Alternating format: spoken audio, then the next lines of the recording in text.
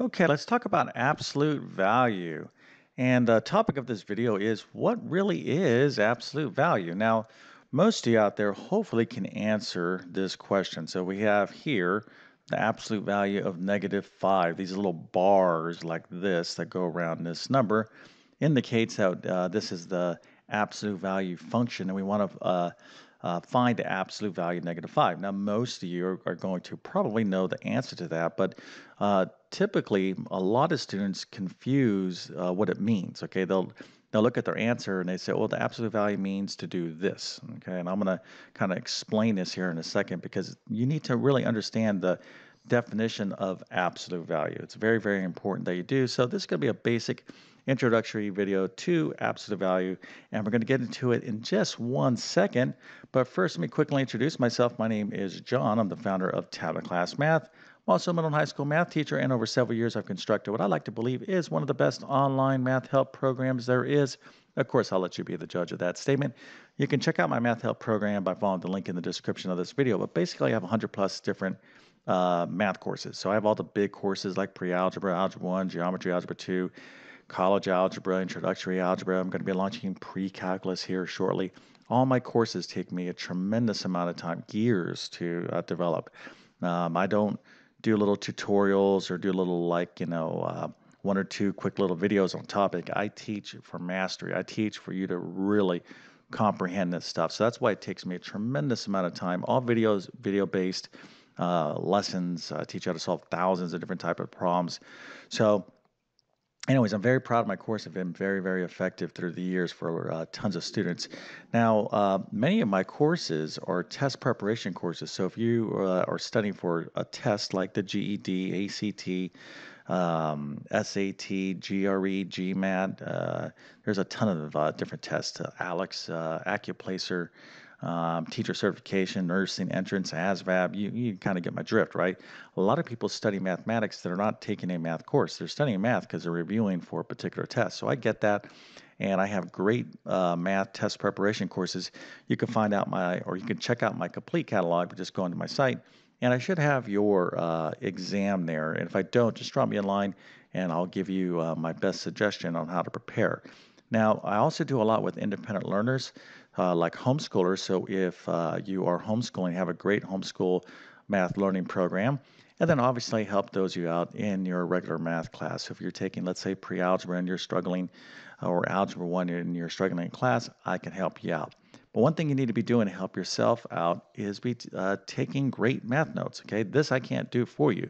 You have to do this. And over decades of teaching mathematics, one thing is apparent to me: those students who take fantastic notes okay, like amazing notes, almost do great, you know, their grades are excellent, all right? And the reverse is true. Those students who take notes that are like scribble scratch like that, or maybe they just don't take notes and are like, I got a photographic memory, or I'm more into uh, cramming the night before for the test, or my best friend takes better notes than I do. I just copy their notes. Listen, I get it. I was a student once. I did all those mistakes, but I've also paid a price. And as a math teacher, I'm telling you, nobody can uh, kind of escape these principles of learning mathematics. I've seen many try through the decades, it just doesn't work. So, if you want to do well in math, and I assume that you want to learn math if you're watching this video, then you have to take great math, math notes, okay? It's not optional. And, um, you know, we already have enough distraction today. And if you want to remain focused, and which is absolutely critical, okay, when you're learning anything, you have to f- be disciplined and focused. So you got to put away the cell phone, got to stop talking to your best buddy next to you.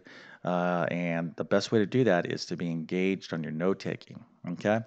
All right. So as you're improving in your note taking, uh, you still need something to study from. So I offer detailed comprehensive math notes to include pre algebra Algebra 1, Geometry, Algebra 2, and Trigonometry. Find links to those notes in the description of this video. All right, so let's get into some absolute value problems, and I'm going to give you the definition and really tell you what absolute value really is, okay? All right, but let's go to this problem here. So I have the absolute value of negative 5. So what is the answer? And uh, hopefully most of you out there said it's positive 5. And if that's the case, give yourself a check mark and a happy face and a little A plus. Ooh, that's a terrible smile. Let's fix that up. All right, that's better. Okay, and that is correct. Now, uh, most students will define, they'll say, they'll look at this answer, and actually let's do another problem. They'll say the absolute value of 5, if I gave you this as a uh, problem, you would also said 5, and you would be correct. So a lot of students will say, I would think of the absolute value as, okay, the absolute value means when you take the absolute value of a negative number or any number, it's always going to be the positive version of that number. And logically, that's a pretty good way to interpret what's going on, but that's not the definition, okay? And it's important that you understand the actual definition of absolute value. Now, let me show you a couple things here about absolute value that is not the case. So let's say I had the absolute value of negative, uh, 2 plus 5, okay? Well, actually, let's do it this way, okay? Because later down the line, you're going to be studying something called absolute value equations. So let's say I had an absolute value of x plus 1.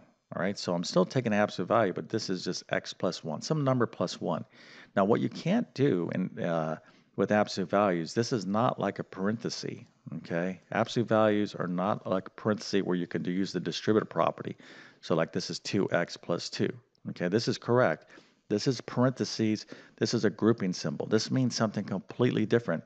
When we're dealing with absolute values, you cannot do this 2x plus 2, okay, absolute value. That's a big mistake a lot of students make. So that's why I wanted to highlight this here. So if you remember that, you won't make that mistake and you'll keep your face looking like that when you get your quizzes and tests back, right? That's the whole objective here is to get you to ace mathematics. All right, so now let's get into uh, a couple other basic operations. What if I have the absolute value of uh, negative 2 times absolute value negative 7 plus absolute value of, let's say, uh, 6 uh, minus, uh, 10. Okay, so how do we handle this? Well, we go ahead and take care of the absolute value function first. So the absolute value negative 7 is, of course, uh, positive 7. So this is 2 times 7 plus absolute value of 6 minus 10. 6 minus 10 is negative 4. And the absolute value of negative 4, of course, is positive 4. So this would be 2 times, oops, 2 times 7 plus absolute value negative 4, positive 4. So 2 times 7, 14 plus 4, that's 18. Okay? So just basic absolute value um, operations and how we kind of handle absolute value. So you should know this as well. Now, let's get into what absolute value really is. And that uh, we need to know a definition. So the absolute value, okay, is defined as the distance a number is from uh, from zero on a number line. So it's the distance a number is from zero. Okay, that's pretty much it. So let me show you this now. So we know the absolute value negative five is five. Okay, so what we're saying is uh, 5. Okay, we also know that the absolute value of positive 5 is 5. All right, so here, 1, 2, 3, 4, 5. There's 5, and here's negative 1, negative 2, negative 3, negative 4, negative 5. Here is negative 5. So here's these two points, okay, and we're saying that the absolute value of negative 5 is 5 what we're really saying is the distance negative 5 is from 0 on a number line is 5 units away. Okay, so it's like if you take a ruler or a tape measure, this is 5 units in distance. Okay, you, distance is always measured in, in uh, positive uh, values, okay, like displacement. Okay, well, if you, you, know, you have your tape measure or your ruler, Okay, you're not going to see negative numbers on it, right? Because this is distance where it's going to be positive. So negative 5 is 5 units away from 0, and positive 5 is also 5 units away from 0. Whoops, uh, draw that a little bit better, write that better. Okay, so that's what I really want you to know. Now, that's the definition of absolute value, and this comes in uh, very. It's very important because later down the line, when you study uh, absolute value, um, equations, okay, we can have things like this, absolute value of x plus 1 is equal to 7. Or you can have absolute value inequalities, like absolute value of x plus 1 is less than 7. How we solve this is completely different than how we solve that. And there's even more advanced absolute value problems. And it's essential that you understand, uh, firstly, what the definition of absolute value is. And that is the distance a uh, number is from zero on a number line. But of course, in practical terms, all right, you need to know how to deal with, you know, just the basic number operations and not to make uh, those common mistakes that people often do with absolute value. All right, so that's basically it for this video, okay? Pretty basic introduction to absolute value, but I want to emphasize some of those foundational things that you really need to know about absolute value because absolute value comes up so frequently in algebra and advanced mathematics that, you know, it's very good to know a lot about, um, you know, the topic, right? Because you're going to see it uh, frequently. And it's easy to confuse absolute value equations with absolute value inequalities and make mistakes. But you know, essentially what I don't want you to do is to have the wrong idea what the definition is of absolute value. And hopefully this video has cleared that up for you. And if it has, you're like, you know what, this was a pretty good video to watch. Uh, I appreciate it. And if that's the case, please consider smashing that like button. That helps me out. And please uh, consider subscribing to my channel. Been on YouTube for a long time. Uh, it's a great place for someone like myself who's obsessed with teaching mathematics in a clear and understandable way. I want to keep you engaged and excited about learning math. Okay, so if you're one of these folks that are like, you know, I hate math, it's not my thing, I struggle with math, you got to change your mental attitude. Okay, what you got to do is start helping yourself, make sure your notes are good, make sure you're focused, but you know, find a teacher that you like and understand. All right. And if that's me, then that's great. Then I can uh, assist you. Of course, if you have a teacher right now, you got to be paying attention to them as well. But you know, you can go nowadays there's just no um, you know you have options okay?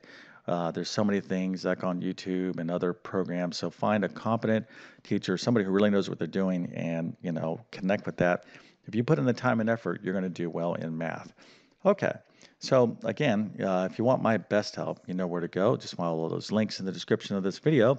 But with that being said i definitely wish you all the best in your mathematics adventures. Thank you for your time and have a great day